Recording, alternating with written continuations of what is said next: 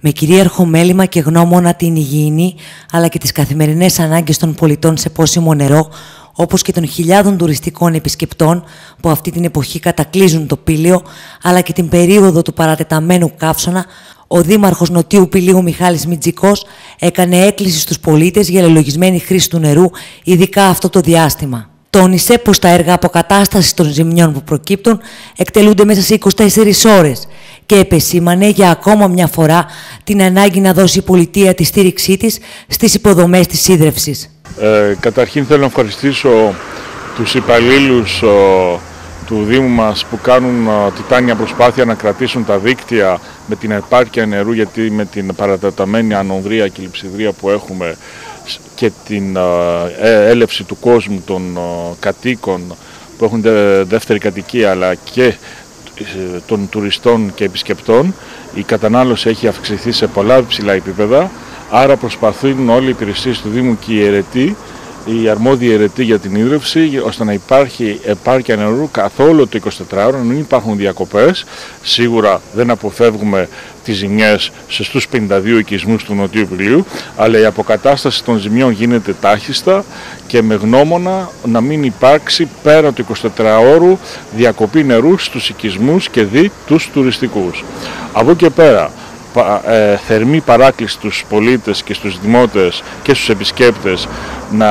με σύνεση να γίνεται η κατανάλωση του νερού, να μην γίνεται η άσκοπη χρήση ε, του νερού, ώστε ε, όλο τον Αύγουστο που είναι ο πιο κρίσιμος μήνας να έχουμε επάρκεια χωρίς διακοπές. Μια σύσταση και παράκληση στους δημότες να έχουμε μια συνετή κατανάλωση του νερού.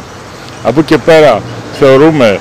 ότι η πολιτεία θα είναι αρρωγός, θα μας στηρίξει στις υποδομές της ίδρυυσης. Έχουμε κάνει και αιτήματα χρηματοδότησης ώστε να, για νέα αντιλιοστάσια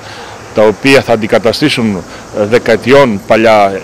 αντιλιοστάσια που δεν θα, θα έχουμε λιγότερες ζημιές αλλά και νέους αγωγούς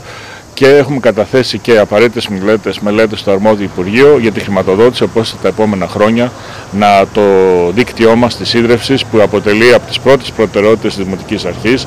να πρώτον να έχουμε την επάρκεια νερού και δεύτερον την ποιότητα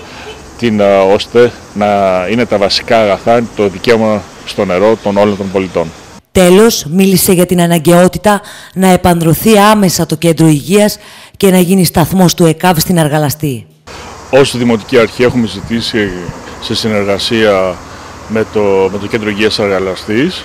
έχουμε ζητήσει το Υπουργείο και τις αρμόδιες υπηρεσίες υγείας να στελεχωθεί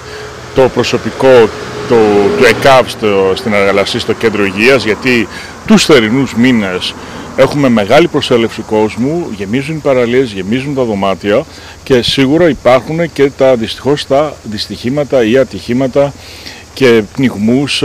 οπότε χρειαζόμαστε πραγματικά στελέχωση για το προσωπικό του ΕΚΑΒ στην Αραλαστή. Έχουμε ζητήσει με εγγράφο στο, στο Υπουργείο Υγείας από πέρυσι, επανειλημμένος, ακόμη και την δημιουργία σταθμού, μόνιμου σταθμού ΕΚΑΒ στην Αραλαστή. Από εκεί πέρα θεωρούμε ότι η κυβέρνηση θα μπορεί, είναι σε θέση να βρει άμεση λύση. Μας μένει ακόμη 1,5 μήνας όπου έχουμε ε, επισκεψιμότητα, πληθυσμό έχει δεκαπλασιαστεί ο πληθυσμός τουλάχιστον στα, στα παραλιακούς, στους παραλιακούς οικισμούς και πραγματικά αποτελεί υποχρέωση της κυβέρνησης να συντρέξει και να δει το πρόβλημα και να βρει μια άμεση λύση τουλάχιστον για τους δύο μήνες αυτούς που θα είναι κρίσιμοι για την υγεία των πολιτών.